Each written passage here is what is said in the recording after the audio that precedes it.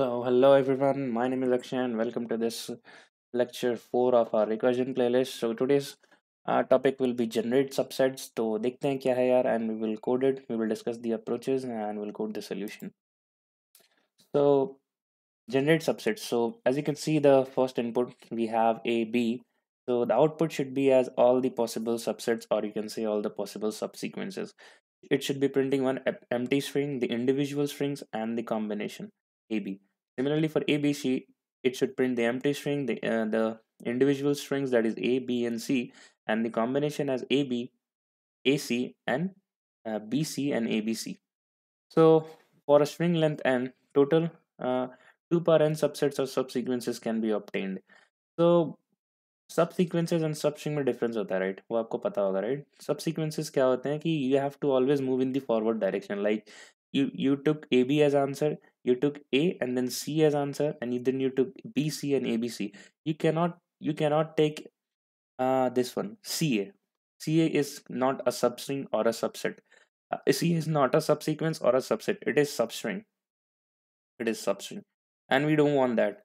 We just want to print the subsets or the uh, like and the subsequences that can be obtained so i hope you can get the question so now pause this video and think for a solution think for an idea to which you can uh, code this approach.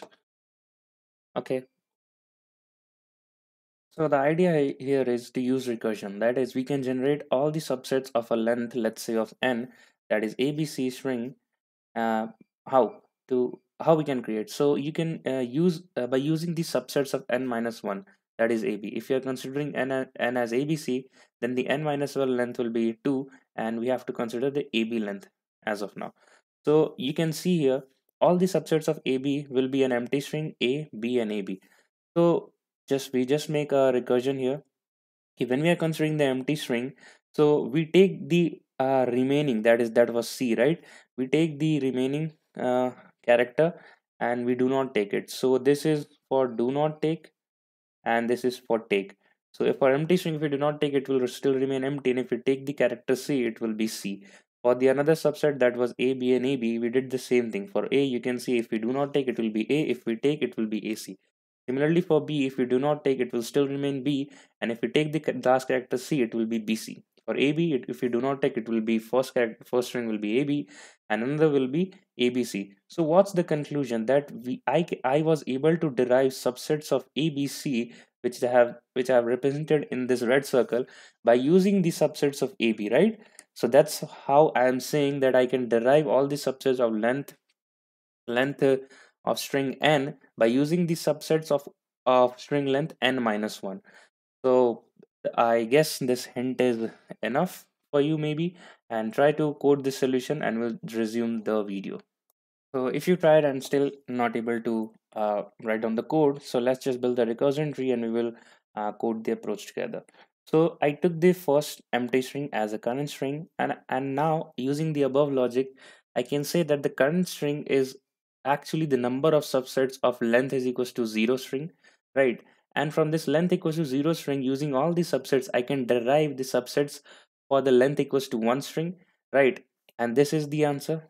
For length equals to 1 it should be uh, one empty string and the first character a similarly for length equals using the length equals to 1 I can derive all the subsets for length equals to 2 and similarly for using all the subsets of length equals to 2 which is here in this second level or third level as you can see I can mm, I can derive all the subsets of length equals to 3 so as you can see that this third level is our answer. This third level is our answer. But how do we print it? How do we code this thing? I have to maintain, uh, as you can see that at the last level, at the last level, all my answer is present, right? So I have to maintain one level index also. Uh, let's say index, index variable. It is actually what level index. So first it will be pointing to zero. So at this stage it will be pointing to zero here it will be pointing to 1 here it will be pointing to 2 and after this level it will be pointing to 3 right right so it will hit the base cases and in the last video I already explained you जो leaf node होते हैं अपने recursion tree के that is actually the base cases so what I can write if the base cases is here that if, if index if index is equals equals to 3 then what I have to do then print the current string print current string right So what will be the overall code? Now try to write the overall code using this uh, recursion tree and we will resume the video again. So here's the code for our recurrence tree, recursive tree. So I can see that at the last level, if I maintain an index of uh, uh, do not take as take and take, so at the last it will be pointing to three. And what is three? It is actually the string length, right? It is actually the string length. So the base case will be written as if i is equals to string dot length, print the current string and return. Stop the recursion. At this uh, after this level, we have to stop the recursion, right? That's why using the return statement. And what are we doing in the recursion? For this current string what i'm doing that we are opening two branches of don't take of do not take and take. So if you're not taking the string that means you are passing the current string again to the recursion right? So recursion is taking three parameters here the original string the current string as an empty string and the index at zero right? So what we have to do if you are not taking then you're passing the same current right? So i'm i'm calling the function again for function the string the s which is actually the n length string the current I have taken nothing, just pass opened another branch. That's why passing the single current there and i plus one. Since we are going to our different branch, since we are uh, uh, leveling up the index, that's why doing i plus one. And this is for the second branch. This is for the left branch. If I just make an arrow, so this is for the second branch. What I'm doing, I'm actually considering the string at index zero, right? At index zero. So that's what I'm doing. I'm saying that s comma the current plus the s dot charAt in java we have we, we can write s dot charAt i. Initially i was pointing to 0 so s dot charAt i and since we made an open open uh, new branch and we are moving to the next level that is why i plus 1 so i hope this code is clear to you. So let's uh, actually run this code in a compiler. I have already written this code and let's see.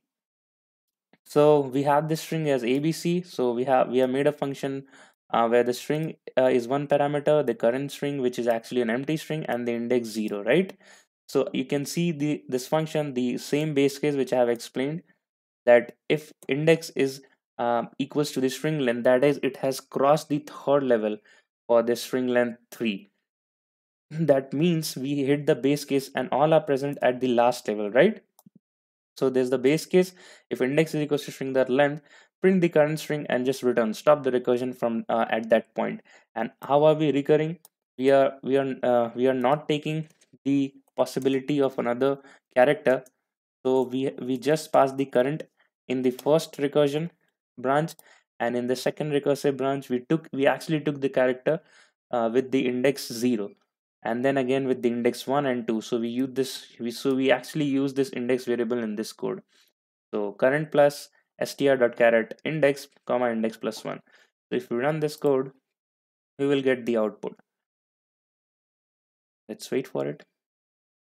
So the first line is actually representing the empty string. That's why it's printed nothing there. And you can see in the second answer is c then b and bc and you can see the same sequence in the output.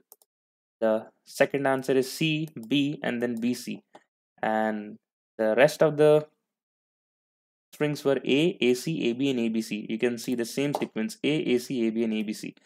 So that's all about the generate subset code uh, solution and the question. So let's meet in the next video uh, with this fourth question as Tower of Hanoi. Until then, stay tuned. And if you are new to this channel, please like, share, and subscribe.